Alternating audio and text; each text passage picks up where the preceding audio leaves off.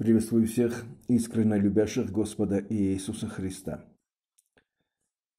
Давайте сегодня вместе поделимся одним словом из Писания. Это книга Исход, 11 глава, где Бог дает обетование израильскому народу, что при исходе из Египта ни один пес не пошевелит языком своим на них и даже на скот их. Интересно то, что Бог дает такое обетование, но когда переходим на Новый Завет через апостола Павла, это прекрасного человека, Бог говорит, берегитесь псов. Слово говорится так, берегитесь псов, берегитесь злых делателей, берегитесь обрезания.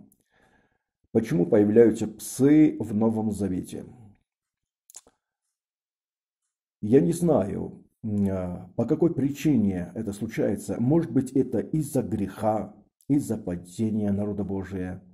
Может быть, это из-за духовно э, сонного состояния. Может быть, это для искушения, испытания, которое Бог допускает в жизни своих людей. Он любит нас, поэтому допускает это.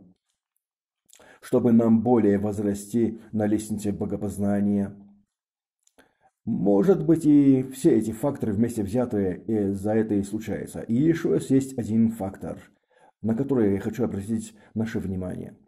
В Деянии апостолов, в 20 главе, а, прекрасный апостол Павел говорит так. «Пусть у моего отшествия войдут к вам лютые волки, не шадящие стада, и из вас самих восстанут люди, которые будут говорить превратно, превратно, дабы увлечь за собой учеников. Цель человеческого естества удивительна.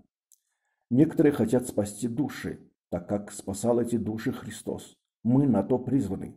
Мы призваны, чтобы Царство Божие распространилось в нас и через нас, чтобы спасти души от грядущего гнева.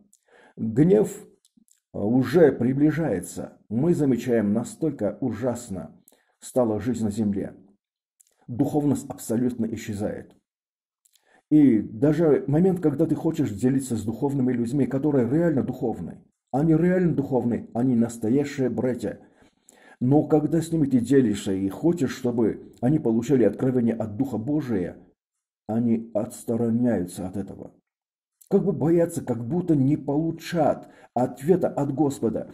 Они боятся, что, что не могут получить ответ от Господа. Но Господь хочет именно этого, чтобы люди получали от Него ответа. Написано. Те суд сыны Божии, которые движутся Духом Божиим. Это пророческая жизнь. И Бог этого ожидает от всех своих сыновей и дочерей. И вот здесь написано «берегитесь псов». А там говорится, что ни один пес не будет двигаться даже языком своим на народ Божий и даже на их скот. Теперь, посмотрите, когда Иосиф увидел сны, и он рассказал своему отцу, этому чудесному человеку, пророку Якову, и когда он рассказал своим братьям, они возмутились. Они возмутились, они будучи, будучи настоящими верующими. Они, будучи уделом Божьим, они возмутились, они не поняли это. А тем более, когда ты открываешь твое откровение перед человеком, который не от удела Божия, он есть пес. Но он находится в этом а, уделе, он вошел туда, он никогда не получит спасения, он никогда не получит удела с Господом, но он находится там. Он называется верующим. Такие люди а, опорочат имя Господа. Такие люди, они так живут из-за их жизни, а потом приходит и уничижение на всех верующих. И люди думают, что все верующие именно такие, как эти. Но они просто называются верующими. Однако для них приготовлено совершенно другое. Не будем об этом говорить. И теперь, берегитесь псов. Как нам беречься? Как нам беречься? Я хочу обратить наше внимание на книгу Левит, на 16 главу.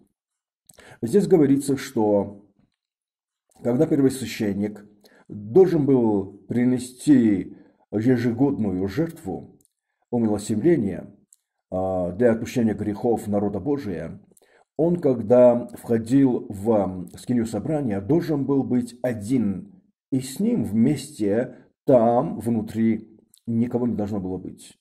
Ни одного священника, ни одного левита. Никто там не должен был быть.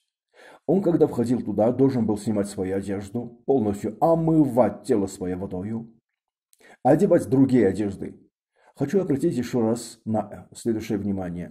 Он одевался прекрасно. Одежда первосвященника – это было что-то чудесное. Было там э, сделано из золота, из серебра, из драгоценных камней. Но Бог не принимал первосвященника во время этого жертвоприношения именно в этих одеждах.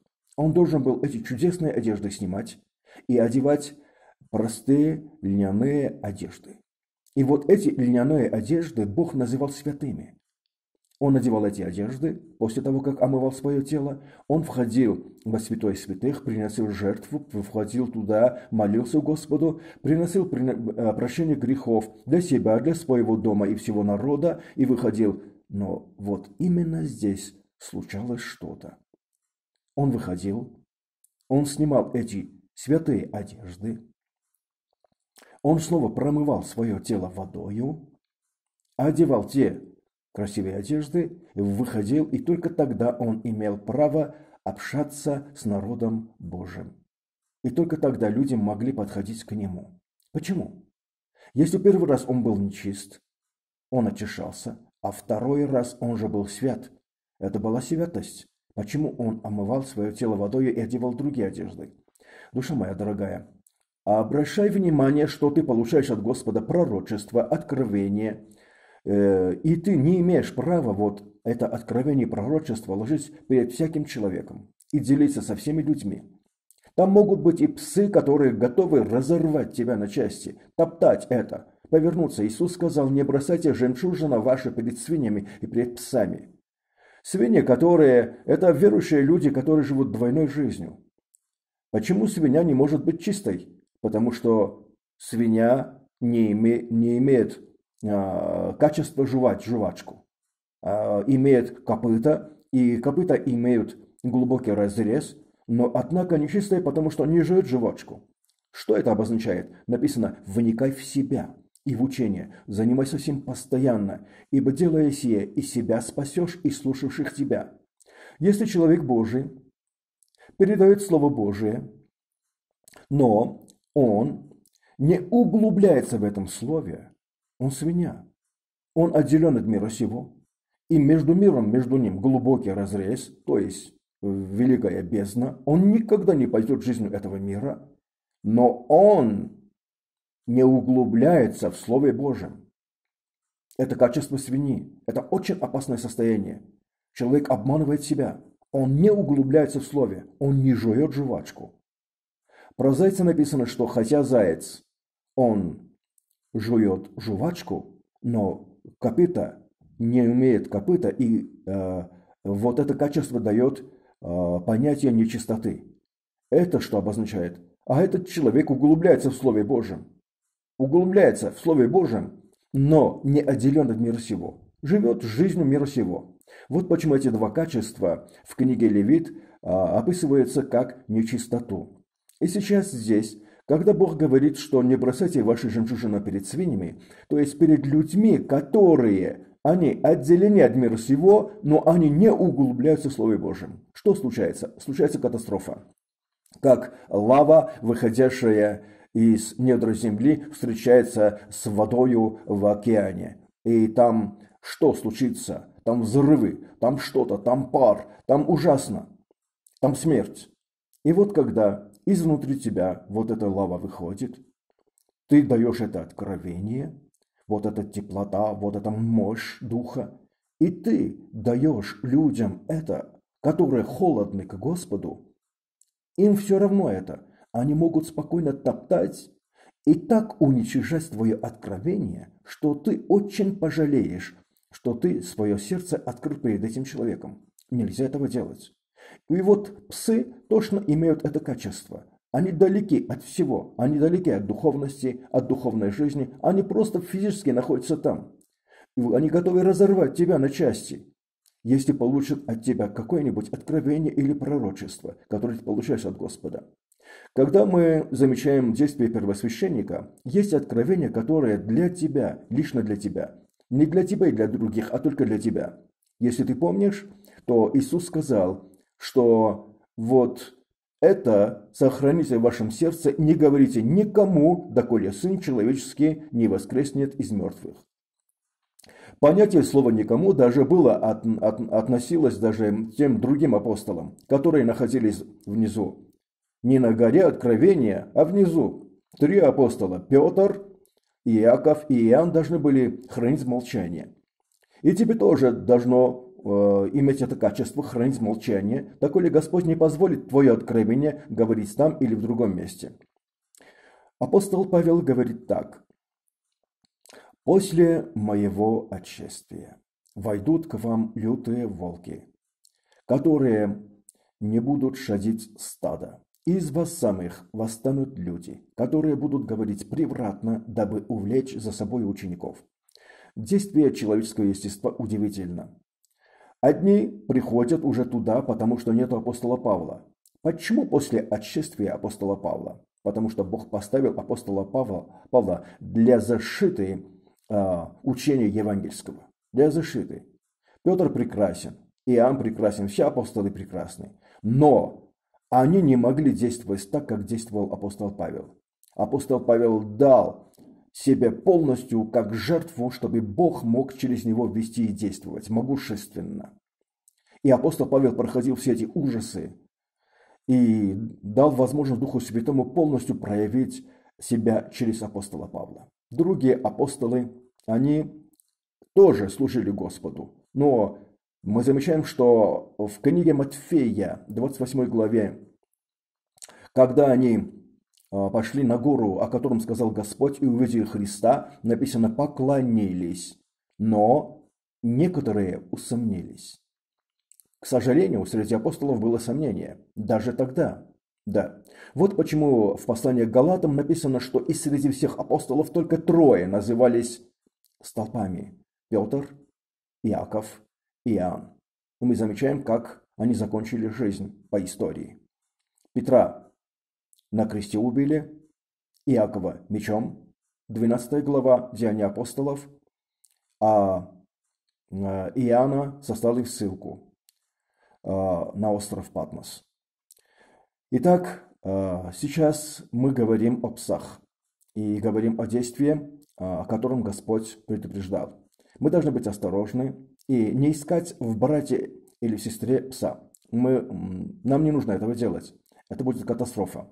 Нам просто нужно слушаться Господа. Когда Господь не дает нам разрешения делиться тем или иным словом, мы не должны этого делать. И только тогда мы можем спокойно быть защищенными в этом плане. И когда это будет давать свой плод, вот это откровение, которое Бог дал нам, тогда мы можем делиться по разрешению Господа.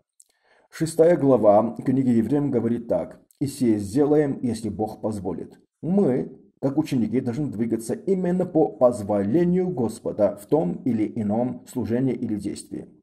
Второй стих, который написано «Берегите злых делателей, делатели на поле, а, значит, на Ниве Божьем». Делатели. Удивительно, но они злые. Злые. Что такое зло? Зло – это не добро. Зло Смотришь на лицо человека и замечаешь, что хотя бы улыбался он. И не можешь подходить к этому человеку. А он говорит Слово Божие. А он двигается. Он делает какие-то шаги миссионерские. Он делает какие-то шаги, а, которые другие не делают. И вот этот человек делатель, но он злой делатель. И Библия говорит, берегитесь злых делателей. Также и берегитесь обрезания. Что такое обрезание? Это возвращение к закону. Возвращение к законам, где благодать исчезает. Возвращение к закону, то есть к понятию спасения через дел, где вот эта спасительная благодать исчезает. Где человек начинает включать себя, свои действия и свое служение на дело своего спасения. И забывает Христа, что Христос это сделал. Мы действуем перед Господом не потому, что мы через это спасаемся, мы действуем перед Господом, потому что мы уже спасены через Христа. Да поможет нам Господь понять это слово. Да поможет нам Господь, чтобы не добавить или убавить на учение Божие что-то человеческое, чтобы нам самим спастись. Будем хранить страх Божий в наших сердцах и любовь к друг другу. Мир дому вашему. Аминь.